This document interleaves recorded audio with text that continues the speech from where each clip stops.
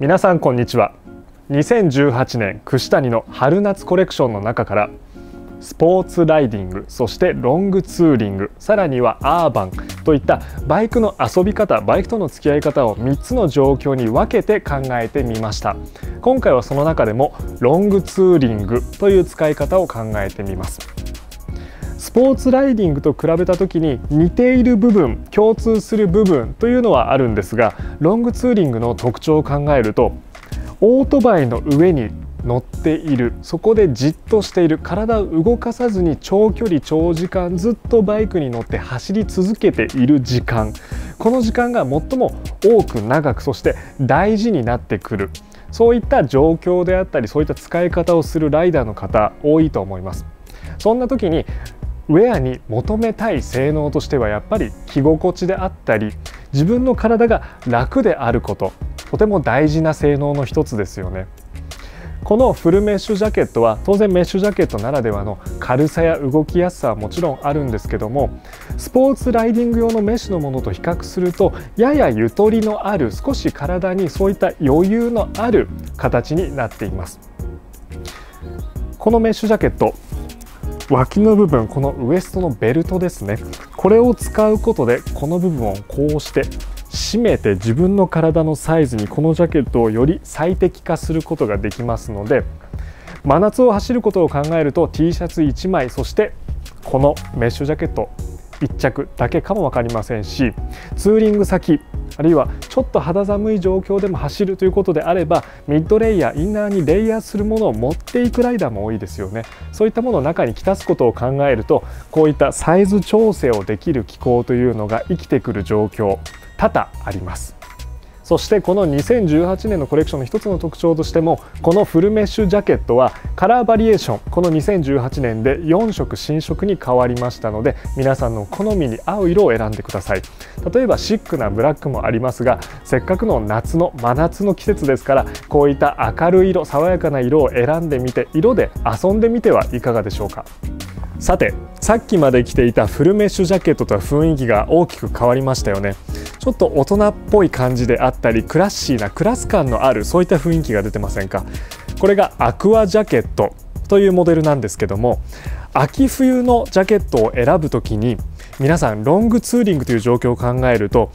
晴れたところを走っていても距離を移動するともしかしたらトンネルを抜けた先は山を越えた先は雨が降っているかもしれないんですよね。ということを考えると防水性能というのがとても大事ではないですか。しかもそこでただ防水性能だけを考えるのであればビニールという単純な生地でもいいんですがその場合には体の中の蒸れ気がジャケットの中でどんどんと増していってしまって外の雨水で体が濡れることはなくても自分の汗で濡れてしまうびしょびしょになってしまう。そういったことってありますよね。それを防ぐために防水でありながら糖質という性能もとても大事になってくるんですね。秋冬のジャケットで防水性能があるものについて言えば暖かさはもちろん確保した上でレイン用のレインスーツやレインウェアを一緒に持っていかなくてもその防水性能を持っているアウタージャケット1着で晴れも雨も通すことができるというのがとても便利なところでした。ここで春夏用のモデルでもそういった防水そして糖質の性能があるジャケットを求める声が多かったのでこういったモデルを作ったわけです。このアクアジャケット1つあれば天候が変わっていっても状況が変わっていっても雨が降っても快適にこの1着で過ごすことができるんです。例えば山用の装備であったりもしくは別のスポーツであったりジャケットそのものの生地にそういった高い性能を求めるケースありますよね。そういった場合で安心して選んでいただけるのがこのアクアジャケットです。というわけでこのアクアジャケットの防水性能そして糖質性能についてはイメージが伝わったのではないでしょうか。ただ春夏というからにはひたすら灼熱の日々が続く。真夏も待ってますよね。梅雨が明けた後には必ず暑い時期が来るんですね。その時にはこの腕の表側にあるインテークから風を体の中に取り入れる。そして背中側にあるダクトから自分の熱気を外に排出する。このシステムを使うことで雨の季節はもちろん最も暑い真夏の時にもこのジャケットを対応させることができます。それだけ汎用性の高い便利なジャケット。というふうに考えてみてはいかがでしょうか。それとヒントをもう一つお話しします。例えばあなたがスーパースポーツやスーパーバイクモデルに乗っているとしましょう。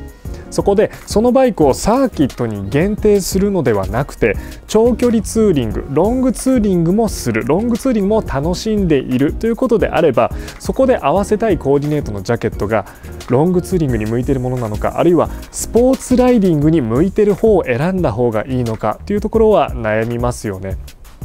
バイクの上で体を動かす自分自身の運動性能を求めるのであればスポーツライディングに適したシリーズの方をおすすめしますがもしも長距離を走る中で雨と遭遇する可能性もあるその時に1着の自分が着ているジャケットで全ての状況を受け止めたい1つのジャケットで状況をクリアしていきたいということであればロングツーリングのシリーズの中からこのアクアジャケットを一押しとして僕はおすすめします。そしてこちらが一つの究極ともいえる串谷のラインナップの中で長年定番モデルとして生き続けてきたチームジャケットです。このチームジャケットが人気の理由の一つとして例えば背中などにお揃いのチームロゴやご自身のロゴなどを入れることができるそういったオーダーに対応しているというのが一つの人気の秘密ですね。あとはこのシルエット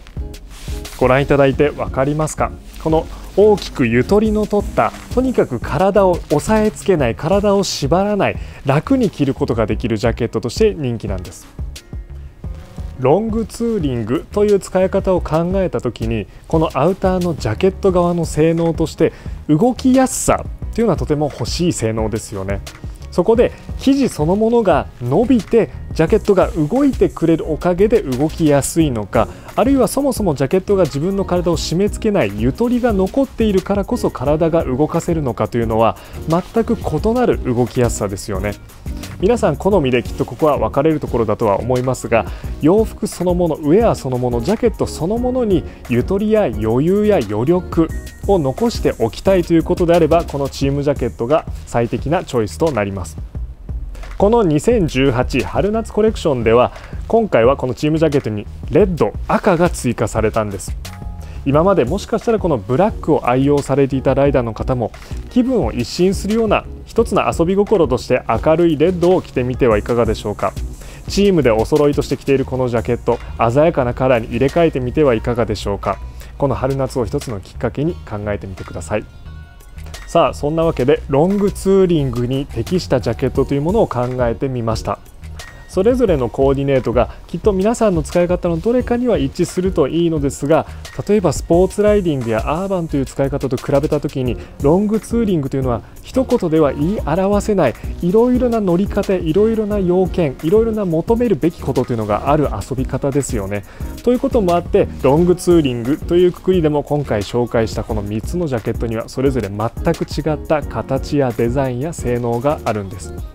ぜひ皆さんのバイクとの付き合い方バイクライフに合った一着を探してみてください。